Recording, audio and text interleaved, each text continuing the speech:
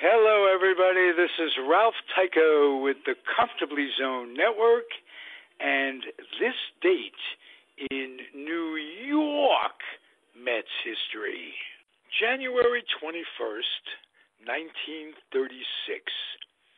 Bill Graham is born. The proceeding has been a comfortably zoned network production. You are advised to keep your dreams wet your humor dry, your children and grandchildren out of military recruiting offices, and off the laps of clerics who wear dresses. Thank you for listening, everyone. Happy trails.